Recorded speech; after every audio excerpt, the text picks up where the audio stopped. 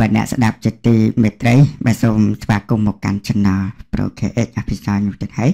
តែសំឡេងនៅអត្ថបទដកស្រង់បាទខ្លីៗចំណេញ2មកជម្រាបជូនដល់ប្រិយមិត្តអ្នកស្ដាប់ដែលអត្ថបទទី1ឆ្មបដែលកាត់ពោះវៀននារីរងគ្រោះថាជាទងសុកទីរត់នោះពេលនេះទទួលរងតនកម្មហើយបាទប្រិមិត្តនេះគឺតកតើងនឹងអ្នកគ្រូពេទ្យឆ្មបម្នាក់ដែលបើតាមការអានពីក្រសួងសុខាភិបាលបានបញ្ជាក់ថាចគ្រូពេទ្យឆ្មបខាងលើនេះ គឺមិនបានឆ្លងកាត់វគ្គបណ្ដុះបណ្ដាលបច្ចេកទេសខ្ពស់ក្នុងការ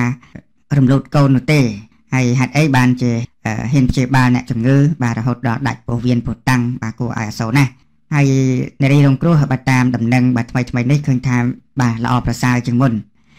បាទទៅទៀតយើងមកតាមដានមើលថាតើអ្នកគ្រូពេទ្យឆ្មបនេះបាទទិរណកម្មអ្វីខ្លះ អត្ថបទទី2ដើម្បីធានាថាឆ្នាំ2025កម្ពុជានឹងអស់ក្របមីនរាជរដ្ឋាភិបាលបានបញ្ចេញថវិកាដាក់ទៅមូលនិធិបំផ្លាញចោលក្របមីននិងក្របមិនតាន់ផ្ទុះបាទប្រិមិត្តនេះគឺតកតើងនឹងសម្ដេចតេជោបានទម្លាក់បាទថវិកាជាតិដើម្បីកម្ចាត់មីនឲ្យអស់ពី បាទប្រទេសកម្ពុជាយើងនៅឆ្នាំ2025ដោយដែលប្រិមិត្តបានដឹងហើយកន្លងមកប្រជាពលរដ្ឋបាទតែងតែរងគ្រោះដោយសារតែក្របមិនណាបាទអញ្ចឹងប្រិមិត្តយើងមកតាមដានលំអិតនៅអត្ថបទទាំងពីរនេះដូចតទៅទីបំផុតឆ្មោបដែលវះកាត់ពវៀននារីរងគ្រោះថាជាទួងសុកទីរត់នោះពេលនេះទទួលរងតនកម្មហើយរាជនីភ្នំពេញរឿងរ៉ាវក្តៅកកុកដែលនារីមួយរូបត្រូវបានឆ្មោបកាត់ពវៀនថាជាទួងសុកទីរត់ នៅមន្ទីរពេទ្យសម្រាប់ព្យាបាលនិងសម្ភពដើមអង្ក្រងផ្សារព្រៃតន្ទឹងស្ថិតនៅក្នុងស្រុកកងពិសីខេត្តកំពង់ស្ពឺពេលនេះក្រសួងសុខាភិបាលបានសម្រេចដាក់ទណ្ឌកម្មខាងវិន័យទៅលើឆ្មបឈ្មោះថាអង្គធេរិនដោយផ្អាកការប្រកបរបរវិជ្ជាជីវៈឆ្មបជាបណ្ដោះអាសន្នរយៈពេល2ឆ្នាំ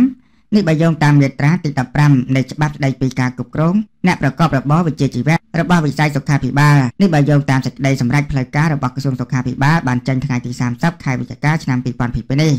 នៅក្នុងសេចក្តីប្រកាសព័ត៌មានរបស់ក្រសួងសុខាភិបាលបានចុះហត្ថលេខាដោយរដ្ឋមន្ត្រីមកបំហេងបានលើកឡើងថាការរំលូតគល់ស្លាប់ក្នុងផ្ទៃអាយុ18សប្តាហ៍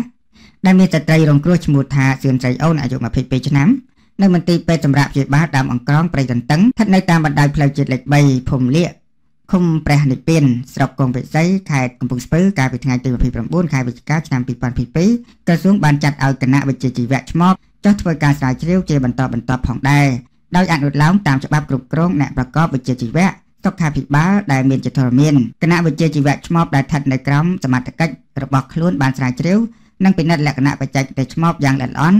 ហើយបានសម្រេចដាក់ទណ្ឌកម្មខាងវិន័យទៅលើថាអង្គធេរិនដោយផ្អាកការប្រកបរបរវិជ្ជាជីវៈជាបណ្ដាសន្នរយៈពេល2ឆ្នាំនេះបើយកមាត្រាទី15នៃច្បាប់ស្តីពីការគ្រប់គ្រង អ្នកប្រកបវិជ្ជាជីវៈវិស័យសុខាភិបាលនេះជាការបញ្ជាក់របស់ឯកឧត្តមមកបន្ហេងរដ្ឋមន្ត្រីក្រសួងសុខាភិបាលលោករដ្ឋមន្ត្រីបានតថាសារជាថ្មីទៀតក្រសួងសុខាភិបាលមានការសោកស្ដាយយ៉ាងខ្លាំងនៅហេតុការណ៍ដែលបានកើតឡើងលើករណីស្ត្រីខាងលើនេះនិងសូមប្រសិទ្ធពរជូនដល់ក្មួយស្រីសឿនស្រីអូនសូមឲ្យបានឆាប់ជាសះស្បើយត្រូវពីការដាក់ទណ្ឌកម្មខាងវិស័យខាងលើឈ្មោះឈ្មោះអង្គធេរិនដោយផ្អាកការប្រកបវិជ្ជាជីវៈឆ្មបជាបណ្ដាសន្នរយៈពេល2ឆ្នាំក្រសួងសុខាភិបាលបានតថា ក្រោយការចុះពិនិត្យស្រាវជ្រាវករណីកើតហេតុខាងលើបណ្ដាលពីការរំលោភគភ៌នៅក្នុងផ្ទៃស្ត្រីខាងលើដែលក្រសួងសុខាភិបាលបានលើកឡើងថាក្រសួងមានការសោកស្ដាយជាពន់ពេកនៅហេតុការរំលោភគភ៌ក្នុងផ្ទៃអាយុ18សប្តាហ៍របស់ស្ត្រីដែលមានឈ្មោះខាងលើនៅមន្ទីរពេទ្យសម្រាប់ព្យាបាលដើមអង្ក្រង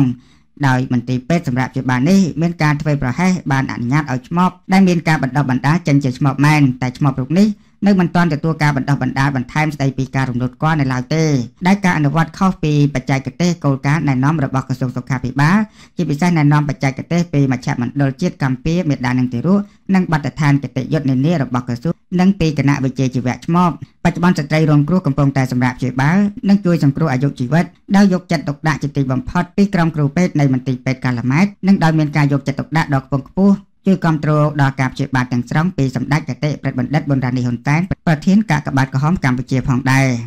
លោករដ្ឋមន្ត្រីក្រសួងសុខាភិបាលបានបន្ថែមទៀតថាតាមរយៈការពិនិត្យនិងស្រាវជ្រាវនៅថ្ងៃដដែលខាងលើនេះក្រសួងក៏សម្រេចបិទជាបណ្ដោះអាសន្ននៅមន្ទីរពេទ្យសម្រាប់ព្យាបាលដើមអង្ក្រងដើម្បីបន្តនីតិវិធីស្រាវជ្រាវតាមច្បាប់ចិត្តរមាននៅហេតុការណ៍ដែលបានកើតឡើងគួរឲ្យសោកស្ដាយជាទីបំផុតនេះក្រសួងសុខាភិបាលក៏តម្រូវឲ្យមន្ទីរពេទ្យសម្រាប់ព្យាបាលអង្ក្រង ក្រសួងសុខាភិបាលក៏តម្រូវឲ្យមន្ទីរសម្រាប់ព្យាបាលដើមអង្ក្រងដែលមានអធិដែលមានអាស័យដ្ឋានខាងលើទទួលខុសទទួលខុសត្រូវចំពោះមុខច្បាប់ជាធរមានលើបាតុភិបដែលបានកើតឡើងដែលបណ្ដាលមកពីការធ្វើប្រហែសរបស់ខ្លួនបាទប្រិមិត្តនេះគឺតកតើងនឹងការដាក់តន្តកម្មបាទទៅលើអ្នកគ្រូពេទ្យឆ្មបម្នាក់បាទរៀនសាលាខាងអឺវិជ្ជាជីវៈបាទឆ្មបមែនប៉ុន្តែអត់មានការបន្តបដាលបាទផ្នែកវិជ្ជាជីវៈរំលោភកូននោះទេបាទចឹងបានថាគួរឲ្យគ្រោះថ្នាក់ បាទគួរឲ្យសោកស្ដាយដូច្នេះហើយសូមបាទគ្រូពេទ្យឆ្មបទាំងអស់បាទបង្កើនការយកចិត្តទុកដាក់ក៏ដូចជាប្រុងប្រយ័ត្នឲ្យបានខ្ពស់កុំឲ្យមានករណីរឿងនេះបាទកើតឡើងអរគុណប្រិមិត្តសូមបញ្ចប់នៅអត្ថបទនេះហើយយើងមកតាមដាននៅអត្ថបទមួយទៀតដើម្បីធានាថានៅឆ្នាំ2025កម្ពុជានឹងអស់ក្របមីនរាជរដ្ឋាភិបាលបញ្ចេញថវិកាចំនួន30លានដុល្លារដាក់ទៅមូលនិធិបំផ្លាញចោលក្របមីននិងក្របមិនតាន់ផ្ទុះ ភ្នំពេញសម្ដេចអគ្គមហាសេនាធិបតីតេជោហ៊ុនសែននាយករដ្ឋមន្ត្រីនៃកម្ពុជានៅល្ងាចថ្ងៃប្រហោះនេះបានមានប្រសាសន៍ថាបងប្អូនជនរួមជាតិជាទីគោរពស្រឡាញ់ថាវិការចំនួន18លាន473,570ដុល្លារដែលបានចេញពីព្រះរាជអំណោយរបស់ព្រះមហាក្សត្រនិងសម្ដេចម៉ែនិងសប្បុរសជនសម្រាប់ការដោះមីនត្រូវត្រូវចំណាយអស់នៅត្រឹមថ្ងៃទី1ធ្នូឆ្នាំ2022នេះ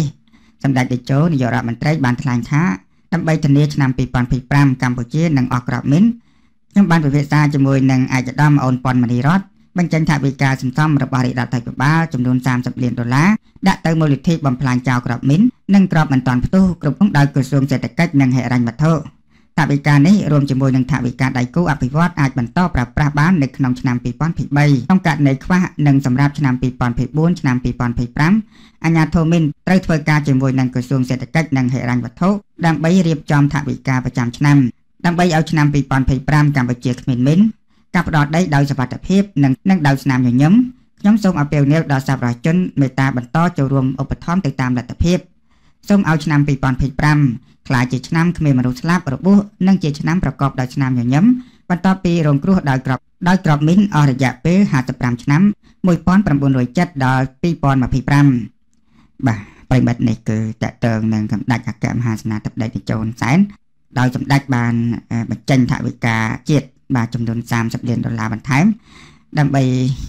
ដាក់ទៅជាមូលនិធិបំផ្លាញចោលបាទក្របមីនសង្ឃឹមថាឆ្នាំ2025នឹងអស់មានមីនបាទពិតជាល្អមែនតើអរគុណប្រិមិត្តសម្រាប់ការតាមដាននៅអត្ថបទខ្លីទាំងពីរនេះ